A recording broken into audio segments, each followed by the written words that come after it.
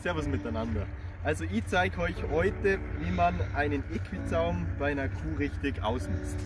Wir fangen jetzt beim Genickriemen an. Wir, eine Kuh hat hier ein Jochbein. Wir schauen, dass es unter dem Jochbein zwei Finger unterm Jochbein quasi einmal über die Ohren bis auf die andere Seite, da ist hier der Jochpunkt, unter zwei Finger haben wir 1,5, 1,4 so ungefähr. Gibt ganz normale Genickriemen oder die, eben die Neckpatches. Die haben oben eine kleine Aussparung und deshalb verteilt sich der Druck seitlich entlang und ist nicht direkt ein auf dem Genick der Punkt, der Druckpunkt.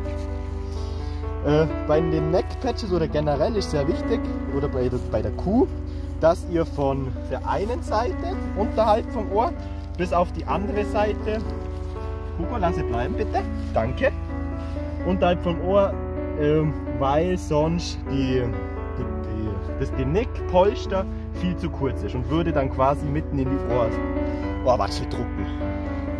Da müsst ihr schauen, dass er einfach ein bisschen länger ist und gibt es einfach 2 cm dazu, dass ja kein Druck in die Ohren entstehen können.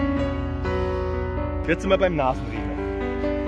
Wir schauen, zwei Finger, Finger unterm Jochbein setzen wir an laufen einmal über die andere Nase, hier ist das andere Jochbein, zwei Finger drunter und gehen einmal rüber und kommen dann jetzt sozusagen auf 62.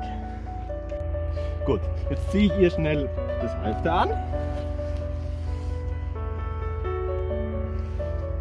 Am einfachsten ist bei einer Kuh einfach oben zu öffnen, weil eine Kuh einfach riesen Ohren hat und du das nicht einfach drüber schlüpfen kannst wie beim Pferd. Genau, jetzt zeige ich euch einmal beim Genickstück. Das ist einfach 2 cm oder 3 cm länger, dass es ja nicht eindrücken kann. Ganaschenriemen läuft direkt vom Auge über die andere Seite zum, okay fast, zum anderen Auge. Genauso wie hier zwei Finger unterm Jochbein, genauso wie seitlich. Genau, und das war's. Tschüssi!